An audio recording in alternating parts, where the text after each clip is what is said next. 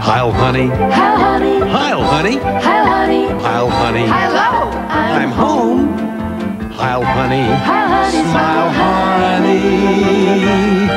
Because I'm home. Gee, it's great to be Top Gun, but it's nothing like the fun that I get when I say Heil, oh, honey. I am home. Heil, honey. Heil, honey. Smile, honey. Gee, it's great to be back. Heil, honey. I'm home. So you guys remember that one ad that they had for for 9/11 with that mattress store? What better way to remember 9/11 than with a twin tower sale? Right now, you can get any size mattress for a twin price. Full mattress? Twin price. Queen mattress? Twin price. King mattress? Twin price. Store-wide sale all day long. oh my god! We'll never forget.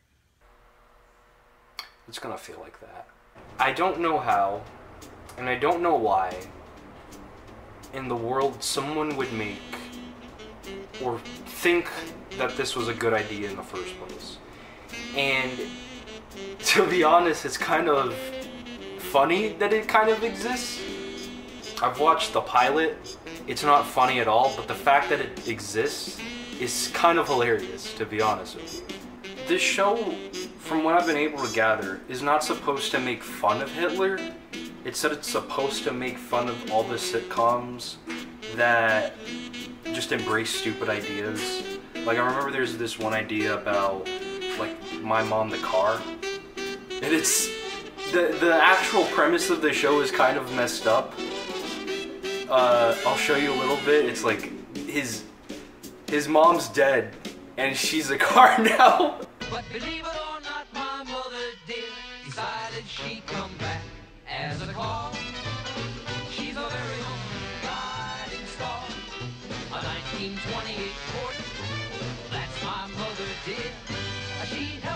Through everything I do, and I'm so glad she's here. My mother the car, my mother the car.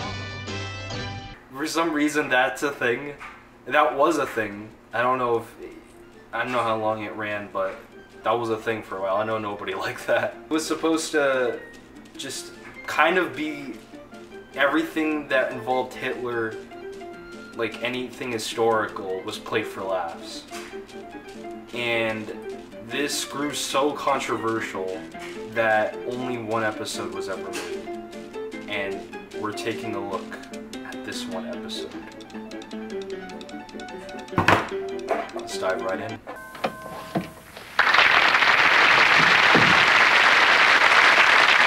Well, honey, I'm home.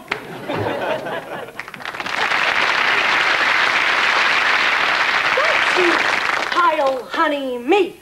What did I do now? Oh, tonight you were making schnitzel. What a joke. One thing to take notice from this is that everyone has a Brooklyn accent.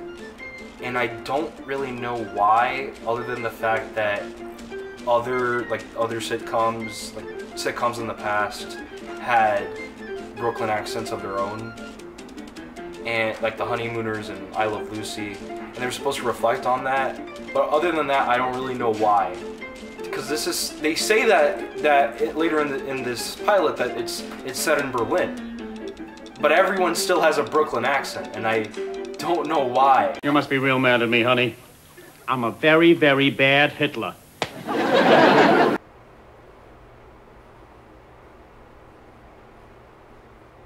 Don't touch me. You've been late for your dinner every night this week. Eva, babe, please. I'm the Fuhrer. Babe, come on, it's, I'm, I'm only the Fuhrer, baby. Just, I, I just, I have people to feed. I'm, I'm only the, the chancellor of my country. I, I'm only the chancellor of my country. I'm sorry for that terrible, terrible accent. Everyone's more important than Eva. Well, let me tell you something, Mr. Schicklgruber. You may be big stuff in Germany, but I knew you when you were just a house painter. Oh yeah, because Hitler was a painter, right? But why is that funny? You'll find out that most of the jokes here are references to Hitler and stuff going on that on that time. and it's not funny at all. It's just kind of messed up in a way, like it's making it comedic and funny, and it's like the Big Bang Theory in a way because it's always reliant on these references. Like, but it's Big Bang Theory. It's with like nerd culture and whatever, and with Hitler, it's just World War II and his, his life, I guess. But it's it's not funny for both cases, really. Ah, come on, babe. Just relax. Here comes the tickle monster. I wonder how being tickled by Hitler feels like. Like you're being tickled by a guy who killed over six million people. Hey, do you remember the names we used to call each other when we first started dating? Oh, no. You were Mr. Sausage. Mr. Sausage. Mr. Sausage. And I was your hoochie coochie girl. Yeah. You hear that? Hitler's touching some cooch. Oochie coochie coochie, smoochy smoochy smoochy, hoochie coochie coochie, you're my little black girl. I never want to see that ever again in my life. So Hitler's neighbors are Jewish, and they the joke is that they always are nosy. How could this not be offensive? Like how could this not be offensive? Like the Jewish neighbors are nosy. Arny Goldenstein, you are a slob. The Jewish neighbor is an obnoxious snob. Way to make a likable character, guys. So the neighbors, who are called the Goldensteins, because they have no other better name for that than that for a Jewish person, and they are incredibly annoying, as much as Hitler and his wife, and they always are yelling and just shouting and I don't understand why do they need to yell? Like, is that supposed to be funny for for people to yell? If I if I were to yell like like I want I want my dog over here right now. Was that funny? It's not funny. I just said I want my dog here right now. Max, come here right now. Come here right now. Come here. Come here. Come here. Good boy. Good boy. Now get out of here. Get out. I'm recording a video. All right, a little bit more. A little bit more. Say, what's going on here? Fresh flowers? Fresh coffee? What did you buy, Rosa, huh? A new dress? No. Don't tell me. I gotta take a seltzer first. I didn't buy anything. Your mother's coming? Oh, you really hate her, don't you, Arny?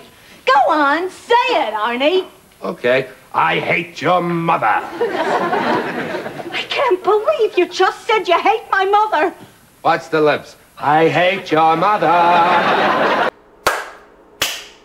The mother's funny. Oh, I get it, cause the mother, the mother. I don't get it. What's the mother have to do with it? Someone told me the joke. So there's a subplot where uh, they're the Jewish neighbor's uh, niece or something. Like the Jewish neighbor's niece come comes to visit, and they're trying to look for a date for her because she's 22 years old she hasn't started dating yet. Like we need that. Like I want to know more about her. See what's so special about her. The thing is, we don't really need that. Like you can cut that out and there nothing would change.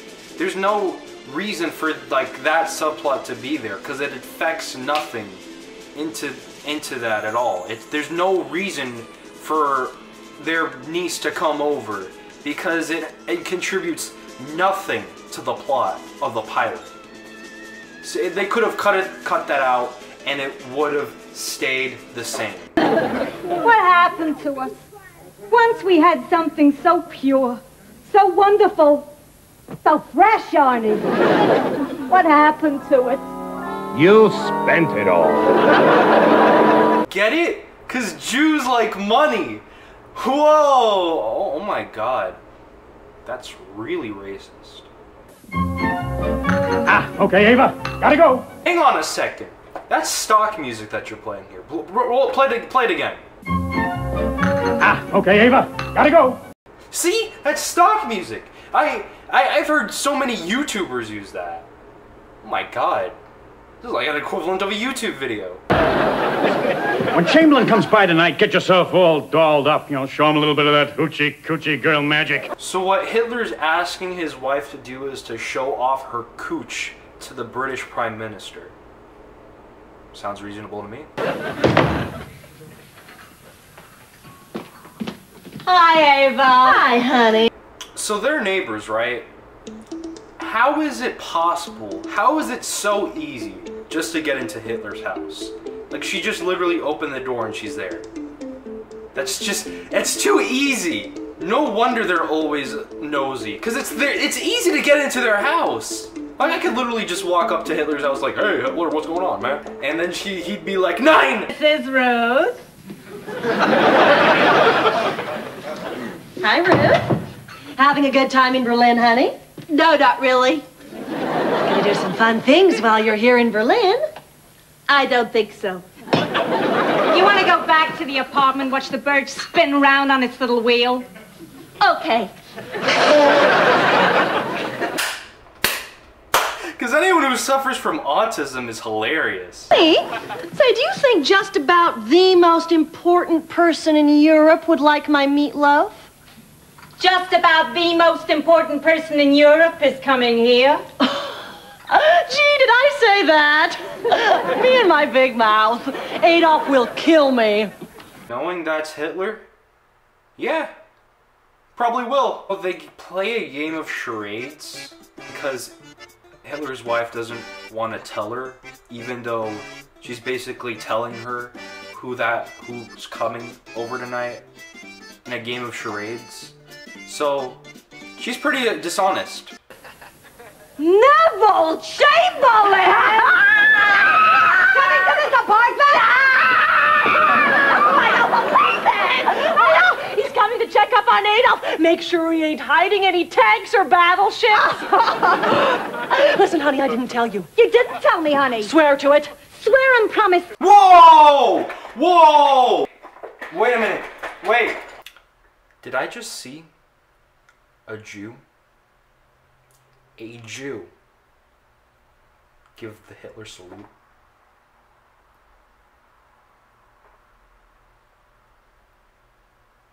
So the Goldensteins enter Hitler's home, and Hitler starts getting mad at his wife because he's because she's the only person that he's ever told about the British Prime Minister coming over, and they start acting really obnoxious, it gets really, really annoying when they come over. It's like nonstop yelling, shouting, and all that. Oh, I got another one. You're gonna love this. You ready for this? That. Ready? Who's this? Who's this? Gee, I win. Wonderful party. Good night. No, it's not a monkey. It's Ruth. You're so alone. It's not rude. It's your mother.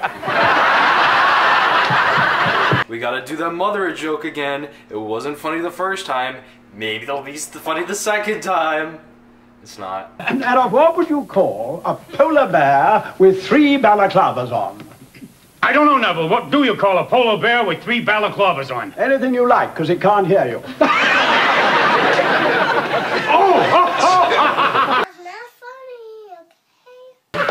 Mr. Chamberlain, how about a pot of tea? Oh, all right. Here goes. I'm a little teapot short. There's my handle, there's my spout. When I get my steam up, hear me shout. Tip me up and pour me out. I don't get it. Why did he have to do that? It wasn't funny. It's not funny at all. I don't know why he, he started singing that song. I, I was just wondering if you could do me a favor. What is it? A girl? You want me to Uh, no, fix you up? no, no, no, no. It's just that I feel, well, well, well, well, we all feel, that you have been rather a naughty boy. All this Czechoslovakia nonsense, eh? Oh, come on, Neville. It was just having fun. Oh, yes, yes, yes. Uh, I was just having fun. One country, two country. Poland. Poland. I'm just saying. Say hello to Rose. Hi, Ro. Rebel of the Furious Butt. Okay. But I came, I saw, I conquered. I came, I saw, I conquered. That was fun. I'm offended. Are you? Neville, there's someone I want you to meet. Neville, this is my niece Ruth. Ruth, this is the British Prime Minister. What is this? A secret Goldenstein? What say I go scare up some munchies? Honey, I ain't dating at the moment. Oh, dear. She's a bold piece of baggage, isn't she? Even the guy that's supposed to be the on the good side, even he's kind of a jerk. So after much argument, he finally gets rid of the Goldensteins, and he has to deal with the situation with the British Prime Minister after hiding the peace agreement, and it becomes incredibly awkward. And I just realized this right now. Ruth is still there, even though the Goldensteins were just kicked out. Ruth is still there, and she really doesn't serve a purpose. And the disparity between them is really odd, because the British Prime Minister is like, looks like he's like 50 or 60, and they said Ruth was like 22. So it's kind of a bit of uh, pedophilia right there. Well, not pedophilia, they're adults, you know, whatever. It's it's just odd that disparity between them. That's a it's a 30 year disparity. Adolf, old chap, you weren't trying to hide this, were you? Me? You don't think I... oh, come on. I mean, look at me. Look at my outfit. I'm just one of the boys. I'm a real fun guy. Uh, I'm, just a, I'm just one of the guys. I'm a cool guy. I'm, I, I, I only kid like, what, four, five, six million people? Ah, there's that saucy little girl. Oh, there you are. Now, tell me, which restaurant would you like me to take you to? That laugh gets me every time. I don't know why. I just love it when when he laughs. That's the only thing I found funny. Just how he laughs. Everything else is offensive and terrible. So that was Heil Honey I'm Home. What a train wreck. I'm glad this was just a pilot. Because if this was an actual series, could you imagine the hijinks and shenanigans that these characters would end up in? Like, uh, imagine the Goldsteins finally witnessing the Holocaust, or Hitler committing suicide. Oh, I love that episode. I love that episode. And his his wife his wife committed suicide too. So I remember that. Uh, this was made for nobody. There's nothing funny about this show. There's nothing special. The only thing, actually, you know what? The no, one thing special about it is that Hitler's in it. I would have never reviewed this if Hitler wasn't in it because the fact that he is in it makes it unique. And if he wasn't, I would have never touched this. I would just think thought, oh, it's just a simple premise or sitcom sitcom that never that never got into fruition. That, was never made. And because he's in it, makes it a lot more interesting. The surprising thing is that I can actually see a show like this working out. Like there's a bunch of shows that are aimed to offend people, like South Park and It's Always Sunny in Philadelphia, which are way way better shows than this, like by a long shot. But this is just trying to be a sitcom. It's not trying. It's it's offensive without even trying. Well, they're trying to be offensive, but at the same time they're still funny. Just if you want to watch it, I'll put it in the description. As for this, as for this video, I'm done. I'm done.